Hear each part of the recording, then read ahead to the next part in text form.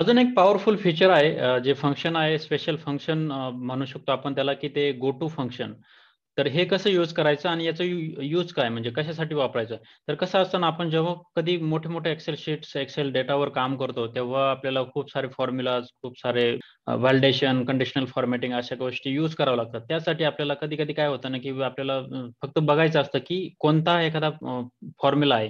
किंवा फक्त मला फॉर्म्युलाच हायलाईट करायचे, किंवा मला फक्त डेटा व्हॅलिडेशन किंवा मला फक्त कंडिशनल फॉर्मॅटिंग हेच हायलाईट करायचे. तर त्यासाठी आपण कसं करू शकतो? आता ही एक फाईल आहे, जिथे डेटा मी आहे, काही प्रोडक्ट्स आहे, त्यांची साईज आहे, त्यानुसार त्याची प्राइस इथे कॅल्क्युलेट होते आणि तिथे त्याची हायलाईट होते. तर हा, ह्या डेटावरनं थोडेफार एक फॉर्म्युला वगैरे लिहिलेला आहे. आता इथे बघू शकता की तुम्ही हा फॉर्म्युला लिहिलेला आहे. आता सपोज़ मला फक्त हा फॉर्म्युलाच हायलाईट करायचा आहे. किंवा मग मला फक्त हाच पोर्शन हायलाईट करायचा आहे. किंवा मला फक्त हे टेक्स्ट किंवा हेडर वगैरे हेच व्हॅल्यू हायलाईट करायचे तर कशा करणार?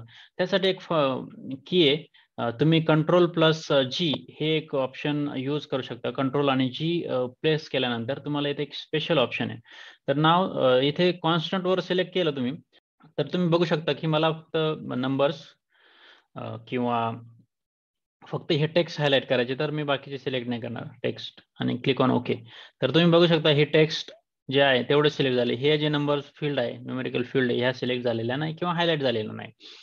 तर हे यूज़ करू शकतो. किंवा मला सगळेच करायचे असतात. कंट्रोल जी स्पेशल फ़ंक्शन परत कॉन्स्टंट सगळेच हायलाईट करायचे, तर मग मी हे पूर्ण सिलेक्ट करणार. आता मला दुसरा एक ऑप्शन आहे फॉर्म्युलाज फॉर्म्युलाज वर सिलेक्ट क्लिक केल्यानंतर काय ऑप्शन आहे की या फॉर्म्युलाज मध्ये फक्त मला याच्यातला जो जिथे कुठे फॉर्म्युला लिहिला लिहिलेला आहे, तेवढंच करायचे. तर ते कसं करणार? तर मी क्लिक ओके करणार हा फॉर्म्युला सिलेक्ट करून. आणि तुम्ही बघू शकता की इथे फक्त इथेच फॉर्म्युला लिहिलेला आहे, तर हे हायलाइट झालेलं आहे. इथे बघू शकता तुम्ही. आता अजून एक ऑप्शन आहे की कंडिशनल फॉर्मॅटिंग कंडिशनल फॉर्मॅटिंग काय असतं ना, की आता सपोज़ मी इथे एक प्रोडक्ट सिलेक्ट करतोय.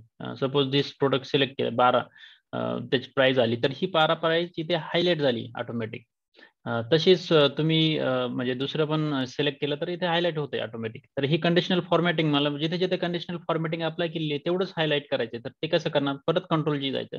स्पेशल फंक्शनमध्ये. इथे एक कंडिशनल फॉर्मॅटिंग ऑप्शन आहे. इथे सिलेक्ट केलं. क्लिक ऑन ओके तर तुम्ही बघू शकता की फक्त तेवढाच पोर्शन हायलाइट झाला की जिथे ही कंडिशनल फॉर्मॅटिंग अप्लिकेबल आहे.